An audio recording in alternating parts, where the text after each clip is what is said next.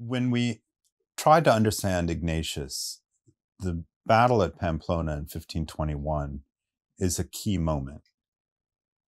It's interesting that we celebrate this this year because it's a moment of failure. It's a moment of pain. It's an ending of a life, or at least a kind of life.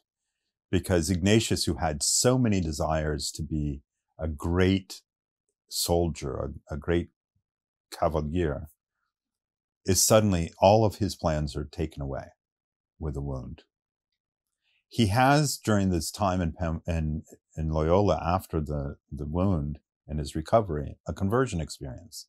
He knows that he can no longer do what he did before, and he has a great desire to follow Christ and to do what the saints did. Manresa in 1522, as he's going off to do something that's a very medieval, very common pious practice of his day, to make a pilgrimage of penance to the Holy Land, he is blocked in Manresa. And during those months in Manresa, he is schooled. He's educated about his conversion because many of the things that he thought he wanted to do, and in fact, what has happened is, is his desire to be a knight has now turned in, into his desire to be a saint. And what happens at Manresa, what's really important, is his desires stop taking priority and he starts to listen to what God's desires are. And he learns how to listen and he's stubborn. He doesn't get it all at once. And there's, there's a lot of confusion. And I suspect that his reason for writing the spiritual exercises was to help to keep people from being as confused as he was at the start of his conversion or making the same mistakes that he did. In reflecting on Ignatius at Manresa, we can see a lot of his personality in his conversion. Ignatius was not a man of half measures. It was all or nothing. It was more than all or nothing. So when he was in his old life as a, as a knight, as a person of honor and nobility, he would not stop until he had moved his status to the next level. He wanted to win.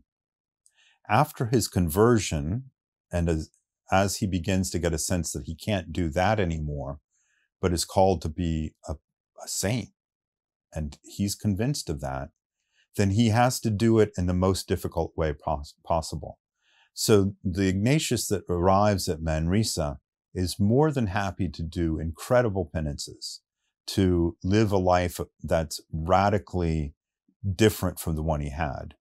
He had a perfectly uh, good haircut and fine beard and, and was elegant in his life before. So now he has to be ugly, render himself ugly by not cutting his hair, by not cutting his fingernails, by being someone who is um, not very pleasant. Gradually, he comes to realize that that's not what the Lord is looking for, that, it, that these are tied more to his own desires. And when he realizes that, he, he begins to realize that, but only after he's had an experience of doing everything that he thinks he needs to do, but still not finding God. There's a, a moment in the autobiography that's often glossed over where he's tempted by a very beautiful spirit with pretty colors and pretty eyes and and and very pleasant to look at. And every time that that that image disappears, he goes into a, a, a deep depression, and and he begins to realize that he's never going to be worthy of God. He's too much of a sinner. His past is too bad.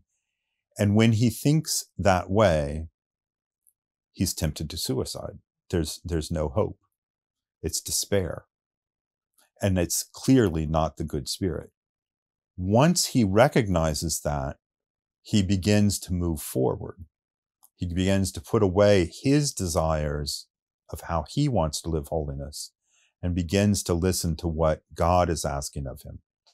Once he gets past that stage, then he can go back and cut his hair and live like someone who is a simple person simple lifestyle, poor lifestyle, but not to an extreme that risks his health or his life, and that also makes it very difficult for him to interact with others.